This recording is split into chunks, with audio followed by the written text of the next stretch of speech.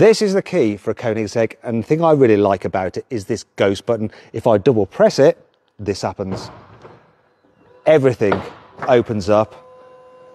The engine cover, the front boot, and then finally, we will have the doors. And just look at that, isn't it incredible? Let's just shut it down again. Double press the ghost button.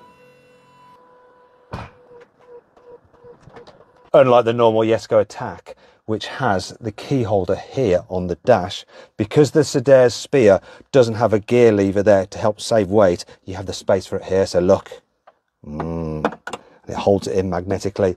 This car also has upgraded sport seats, and check this out, the headrests, if I just, uh, can I do it? Yeah, you can remove them by just sliding them up like that so it's more comfortable if you're wearing a helmet because this car is designed to perform on track. Other things you need to know? Look, we've got six point harness here, but when you don't want to use that and you want to use the normal three point harness, it's just held neatly away there by magnets. This car has an amazing paint scheme and it's modelled on a horse apparently. So look, that's why it's a brown colour. So you've got metallic brown paint there and then you've got brown carbon fibre. I've never seen anything like this. It looks amazing. Also, there's this green stripe here and some white. Why has it been modelled on a horse?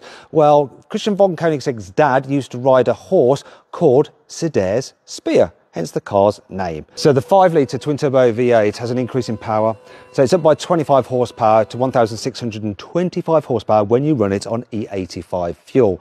Now Koenigsegg has also uprated the suspension, the dampers, the springs, it's got increased camber, and you've got these wider Michelin Pilot Sport Cup 2R tyres. The Sadair's Spear has a lot of visual upgrades. So have a look at this. You've got this huge front splitter at the front, these canards there. There's a little intake there to force air into the air conditioning system. You've got bigger air vents there to release pressure from underneath the wheels. And check out the wheels themselves. Look, carbon fibre and they've got this turbine effect and they suck air in to cool the brakes. Unlike the Jesko Attack, you have a little spear there, which is a nod to the car's name. We also have some air intakes there to force air into the 5 litre twin turbo V8 and there's another intake there which sends air into the gearbox to cool the oil. Now here at the back we have an even bigger rear wing than the Jesko Attack. We've got this new diffuser to improve downforce yet reduce drag which is a hard thing to do. And despite being larger it's actually lighter. In fact, this car is 35 kilograms lighter than the Jesko Attack. So how much does the Koenigsegg Sadair's Spear cost? Well, it starts from 3.8 million euros, but that's irrelevant because all 30 that will ever be made have been sold out.